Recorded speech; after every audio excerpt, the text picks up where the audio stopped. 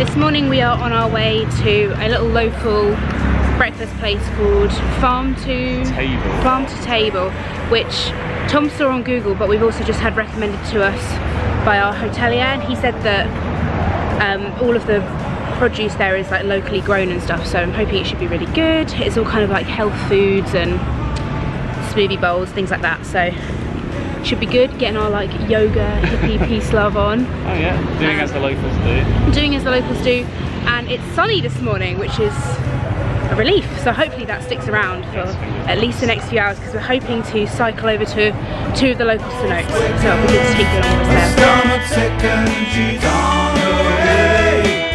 Her mind's pacing, her heart's racing. The fact she's facing, she just can't stay. She pushes on in the darkness. Her determination guides her way. She punched a hole in the night time. She knew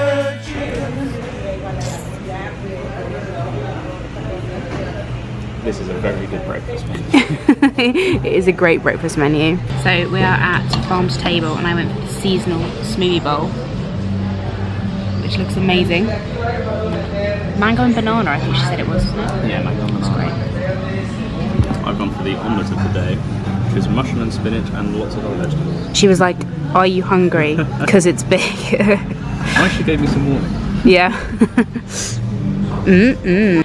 Right, we've had breakfast. It's about 11 a.m. and we're now going to hop over to grab some bikes and hopefully cycle over to the lake to the closest cenotes to us, which are about a 15 minute cycle ride away. So it should be nice. The weather's holding up for us at the moment, so all good. A cenote is a natural pit or sinkhole as made as the result of a collapse, and they're plentiful in the Yucatan Peninsula of Mexico. Mayans believed them to be an entrance to the underworld, so they were often used for human sacrifices, and as a result of this, many human bones and important artifacts have been found in the cenotes. The first cenote that we visited was the Crystal Cenote. It was local to us, just a short 20 minute bike ride away, and it's 120 pesos to enter.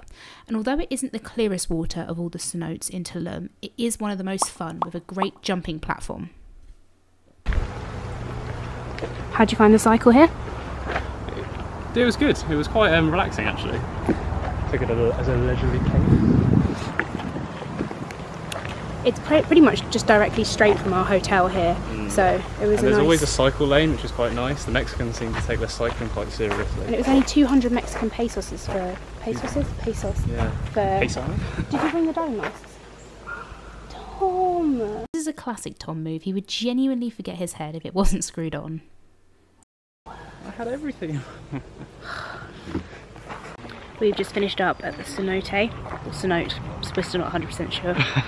um, the other one was unfortunately closed because of the rain, it's been flooded, but this one was still open. It's the less clear of the two, but it had a big diving board which Tom was enjoying. Yeah, I love jumping off of stuff. I jumped off once, which I'm proud of myself for, but I'm not a huge fan of deep water, so that wasn't really my bag. it was so deep.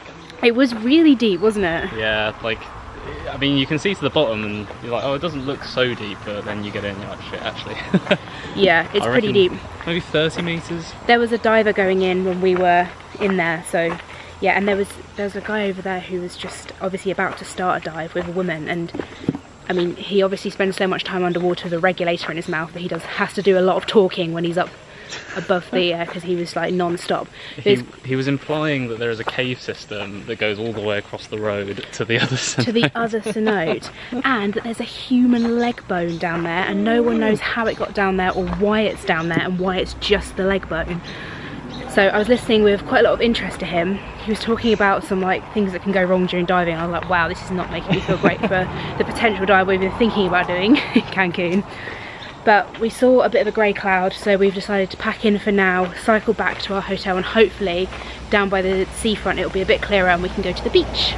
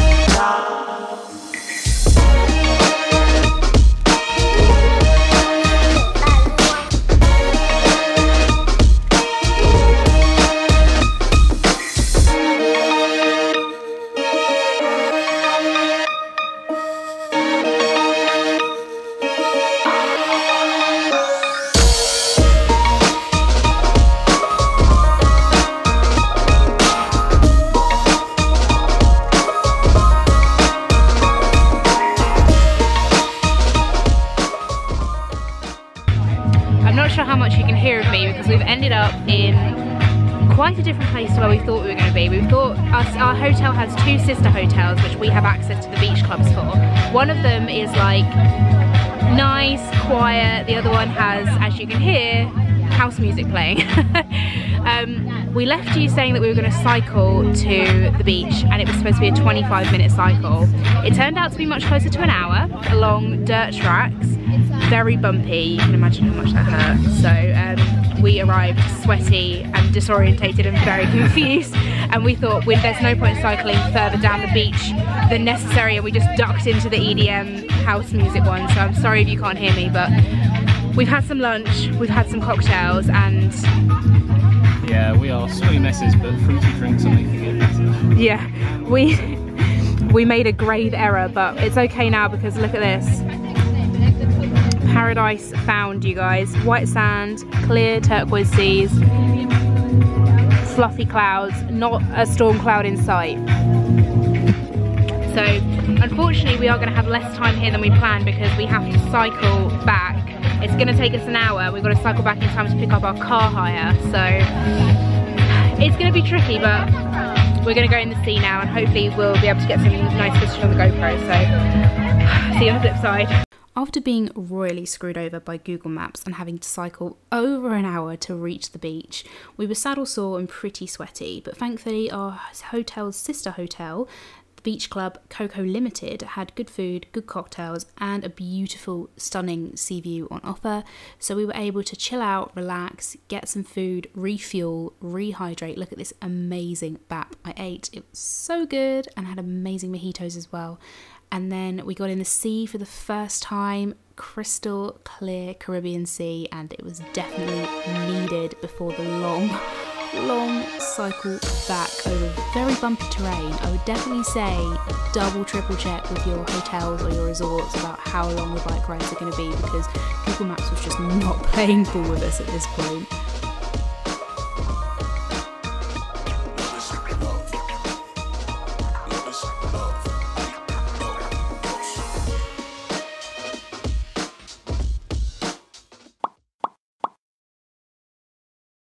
likely the blurriest footage of me ever, but we are gonna have tacos from a local place that's been recommended to us by the guy on our front desk at our hotel, and also Tom saw it recommended online as well. But we, Tom went and picked them up and brought them back here so we can eat them by the pool because we had a bit of a disaster on the way back from the beach. Um, I feel like holidays with me and Tom are always like 10% damage control. And we were so tired when we got back and I'm so sore from the bike ride. I think we just needed like an evening of relaxing. So we're eating tacos by the pool. It's gonna be good. I'm excited. So excited, it smells so good. I mean, the people queuing at this place was ridiculous and it better be good. it was super cheap wasn't it? It was Yeah, I think like we got four, ta- four tacos and guacamole and they, they gave us like chips and dips and stuff. It was like 110 pesos, that's like £4.50, four pound fifty amazing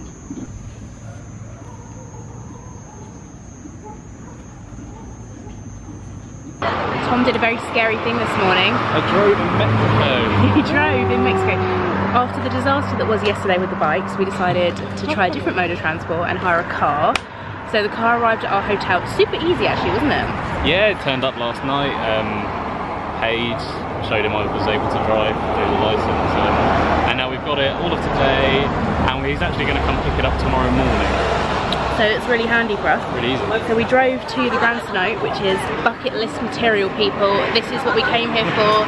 This has been on my Pinterest board for years, so it's gonna be good.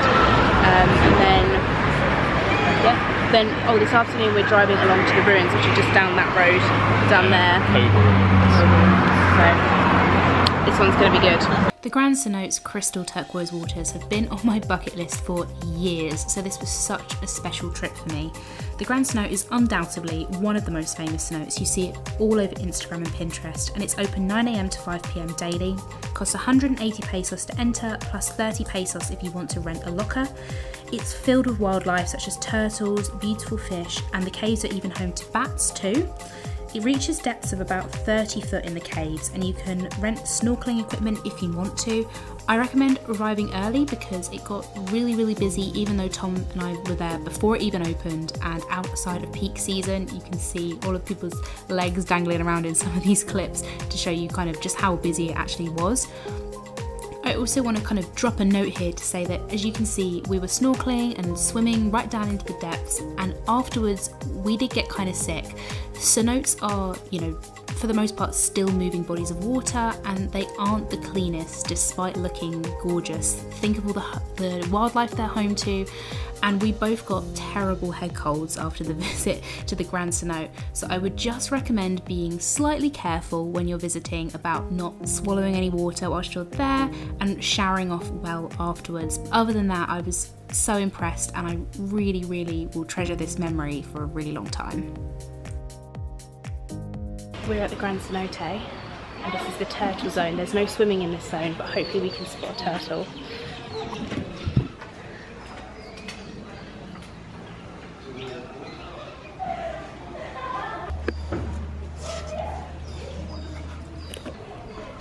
See him?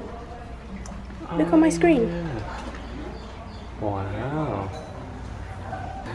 Turtle.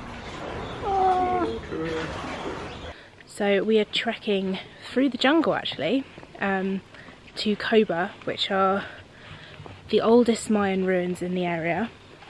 We're currently trekking to the, what did I say it was called? I think it's Nutok Mall or something like that. Nutok Mall, um, which is their really big temple. Over 190 stairs up to the top, but you can actually climb this one. You can't climb the temple in Chichen Itza, so we thought we'd head to this one today while we had the car, so we can climb up to the top, see the views, um, walk the steps of the Mayans, see where they probably did some human sacrifices as well. but to get to it, you have to do a one kilometre walk through the jungle, which is very exciting. I don't think I've ever been in a jungle before. We're not feeling our best though. Um, it's been a long couple of days and we were swimming in the Cenote this morning and where you swim in freshwater and you don't have the buoyancy of the salt water, it's like way more of a workout than swimming in the sea is. So we're pretty We tired. exhausted. We're exhausted. And post the drama of all the rain on day one, my Converse are still soggy. So I'm actually having to trek in flip-flops. So pray for me walking up the temple steps in these. Okay, Tom flaked out on climbing up because he's not feeling great. But I'm about halfway up now. Very hot, very sweaty, legs are hurting. And the view is insane, guys, look. This is all jungle. Jungle. So scary. So scary. On we go. Coba's claim to fame is that it has the largest network of stone causeways. Effectively, these are ancient roads. Over 50 have been discovered, but mysteriously, no one knows how the Maya transported goods along these roads. Scientists believe they knew of the existence of the wheel, but there's actually no evidence to suggest that they used them. The largest pyramid, which you can see me climbing here, is in the centre of the Mayan city and is 42 metres tall and over 120 really steep stone steps up to the top. There's one sort of rope thing in the middle that you can grab onto, but it's a pretty tricky climb, and going down is even more scary than going up.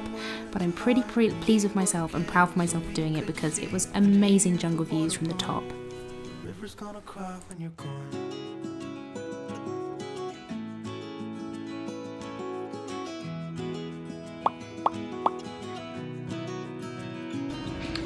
It is about 5pm now and we are heading over the road to one of the top rated restaurants in Tulum called Humo.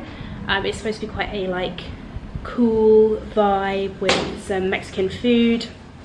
Um, so we're heading there now. Tom hasn't eaten all day because he hasn't been feeling well. He's been asleep for the last couple of hours so hopefully he needs to get some food in him so hopefully this will be just a ticket. They also do cocktails so I'm excited by that. I had tried a mojito vino cocktail earlier in our hotel bar, which was really nice. So I'm excited to have some more of those. Mojitos, one of my favourite cocktails. White wine, also one of my favourite drinks. So the two combined was great. I'm wearing a little black bodysuit, these leopard print shorts, and my pink heels which I succeeded in putting on the wrong foot. So that was great. We were off to a good start. Um, yeah, our last night in Tulum, which we're really sad about, but excited to head to Cancun tomorrow. After you.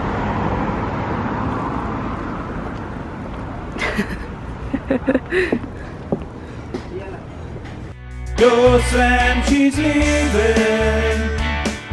He said you're running away. She looks over her shoulder. There's nothing left there